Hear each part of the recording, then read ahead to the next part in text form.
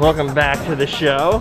Today is gonna be a day in the life of my Cane Corso Bruce Wayne. We're at the gym right now hitting the workout with Bruce. Bruce is meeting and greeting, shaking hands, eating babies, whatever you wanna call it. We're gonna get it going. So be careful. He weight, right? Thank you guys.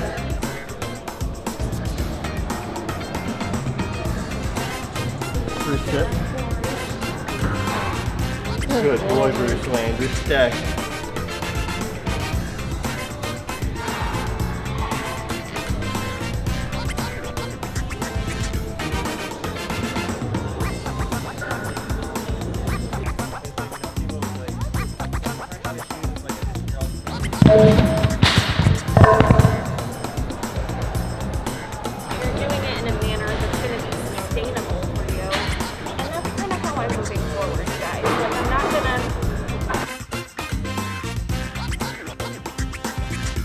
To Wayne, yeah. Exactly. The majestic, the majestic Bruce Wayne. You so confident? Yeah. I love your YouTube channel too. Oh, thank you, thank you. You're Such a good boy.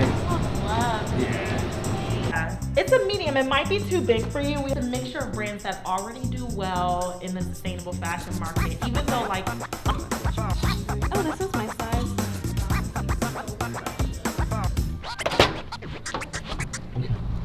Just Bruce leaving Wayne the store off. now. Bruce Wayne's down there. He's gonna be tired because this was like Oh, a yeah. completely. It was a Different day for clothing store. I had him on a stay command almost the whole time. Yeah. He was very polite. We put him on the shag carpet. We gave Bruce Yeah, Wayne some he was comfort. comfortable. We gave him some comfort, but I think he's got a poop. I don't have a sense of smell, but Kara does. Woo. And then Kara said that he stunk up. It's a good thing there was no customers in there. Let's just say that. I personally think it was Kara.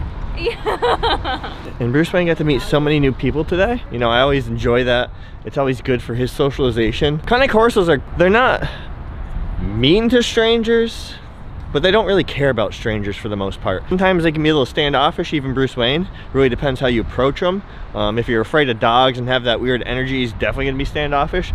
So it's always good just to get him around so many different types of people with different energies and how they feel just so he can get used to even now at almost four years old he can keep getting used to these different energies and people people without dogs people with dogs people that are afraid of dogs. So now we're gonna head home. This beautiful woman Hi. is going to feed bruce wayne. I don't know. What are you feeding him? Oh, I thought you wanted me to show the people right now. no when we get home. I'm like, I don't have no raw meats on me. when we get home. Oh, do you want me And if you guys like these day in the life videos, make sure to subscribe to the channel, smash that like button, bring my you miss any of those videos on Cane Corsos or Bruce Wayne.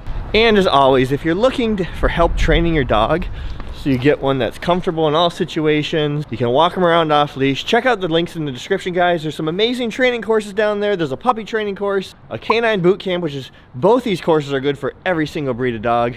There's a raw feeding course, then there's a bundle of all the courses combined, including a special bonus course strictly on Cane Corso since they're quite a bit different than the average dog. And you save 10% if you use code Jason. All right, we're home and we have a cool package in the mail. Bruce Wayne super fan did a portrait of Bruce Wayne and they did a portrait of our previous dog Winston. Bro, look at that. She drew you.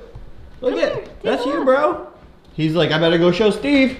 I better show my alligator these amazing paintings. It's always so cool when people send us Bruce Wayne fan art. I love it. So, thank you very much. This is the end of the vlog. I hope you enjoyed it. Make sure to do all the things in the way out. Follow her if you want to, if you care about food, fitness, nutrition, and clothes. Maybe a little bit of A little Bruce Wayne, too. A lot of Bruce Wayne. And we'll see you guys next time. Peace.